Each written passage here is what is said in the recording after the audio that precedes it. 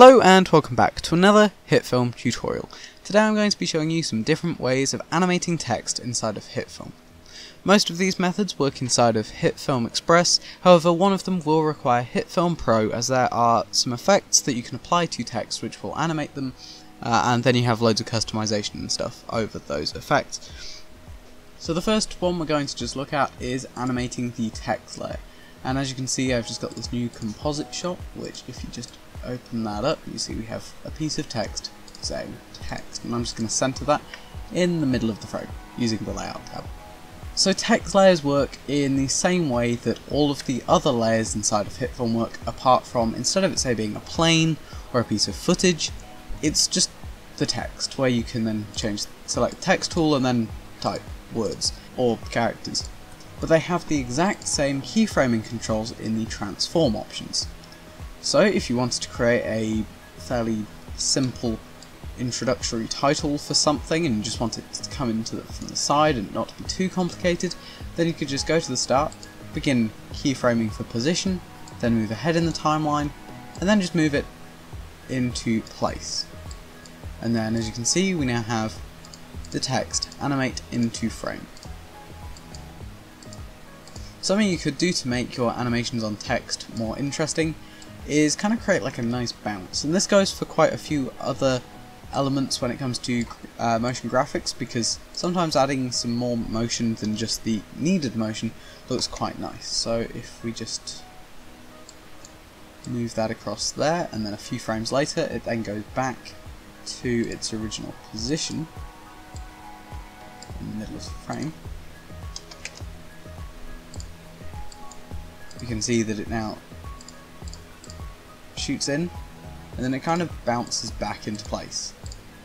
And a way that will also help this feel a bit more alive is by uh, turning on the motion blur, which then if you play through you can see that the text is blurred and that will look really nice. Something else you could do is also change the keyframe types over to being smooth, which will basically mean it eases in and eases out more realistically as to how things do in real life.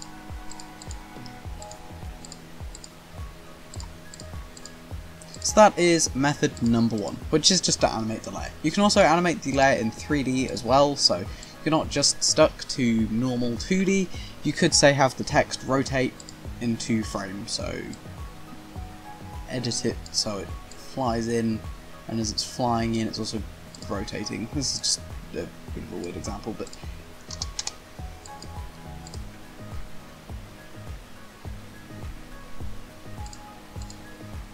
For example, we have this, which uh, looks quite nice actually.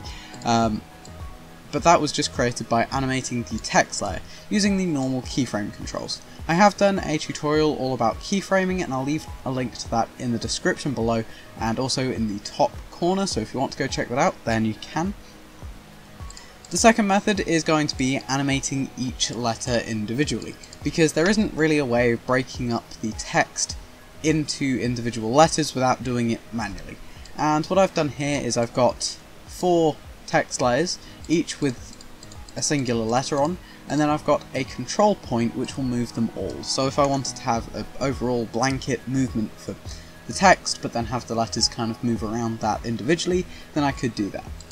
This is similar to what I did in my Netflix intro tutorial, which you can also go check that out if you want.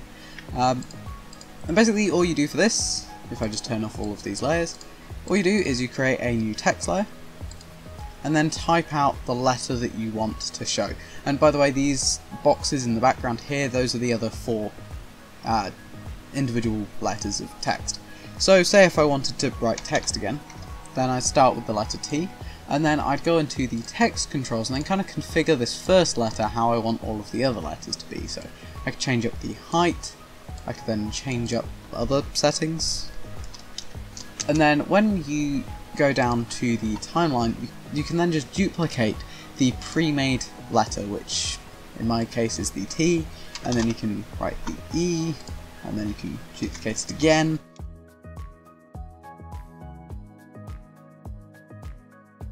And what I would recommend doing is going through and um, labeling each of these so that then if you have lots of letters then you can go through and I would also recommend if you put them in order of the word, um, because otherwise you might get confused.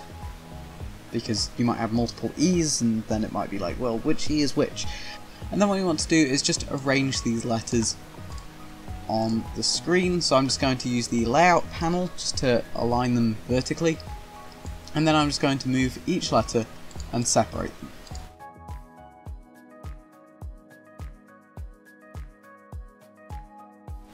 And that looks fairly nicely centered. And then if I create a new point and just call this control, I can then select all of these layers and just parent them to this control point, which will then mean I can just move around the text as one object. Once again, you can have all of these layers be in 3D, including the point, meaning then you can animate the text in 3D as long as each of the text layers is also in 3D, otherwise it will do what you just saw here, which is kind of move it off to the side, which is a bit weird. And then what you can do is you can go to an individual letter and say if you wanted to have each letter kind of fly in randomly at your choice, then you can go to the start, do a position keyframe, move forwards by a bit, and then move it back down to where you wanted it. And then you can apply motion blur, add in some nice smooth keyframes, and then you'll have a pretty cool looking text animation. Of course this takes a lot longer than it does if you were to animate just the text as a whole because you're going to have to do an animation for each of these. You can also then use the control point to move all of the letters in 3D or just move them around and as you can see the T is still flying in from the top. Next up on our list is templates and you can access templates from by going up to the import button and then as you can see next to it there is a button that says installed templates and if you click on this, you can see that you will already have some imported uh, installed templates that come with the software. And as you can see, when you select multiple, it will continue to select multiple. But if you select one, and then you select import, then it will add it to your media bin, but not as a composite shot.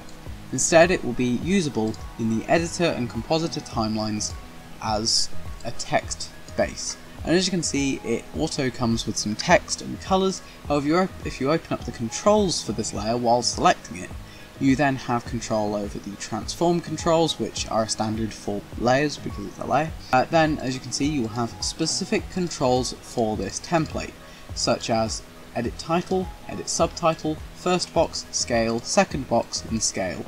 And as you can see when I select edit title it will then switch me over to the text tool and then I can type out a different name. You can also import your own templates, which will save you time. You can also import templates to edit them, so if I just select the banners template and then I click on edit, you can see that we'll actually import the banner as a composite shot. Meaning then you can go in and fully customize it uh, no matter what controls there actually are on the exported template. And then our final method of animating text inside of HitFilm is exclusive to HitFilm Pro and that are built-in text animations. You can find them in HitFilm Pro under the Behaviors tab and then you can see that there are loads and loads of effects. And the ones that say text only next to them mean that they are for text only. Meaning that if you select one, drag and drop it onto your text, you can then see that it will then play through that animation. Then if you open up these settings, you have some settings that you can play around with and animate and change. And there are loads of these. And then as you can see, you can then drag and drop different text animations on, and then it will create some really cool looking effects. You can then also combine them. You can create uh, text animations similar to this using some of the methods previously mentioned in this video. I have got more tutorials planned for more text animation and more just general animation inside of HitFilm stuff for motion graphics and also some other visual effects things. If you have any questions then please feel free to ask them in the comments down below and if you have a tutorial request or suggestion then also feel free to leave that in the comments if you enjoyed this video then please leave a like and subscribe that would be greatly appreciated. Hope to see you next time. Goodbye.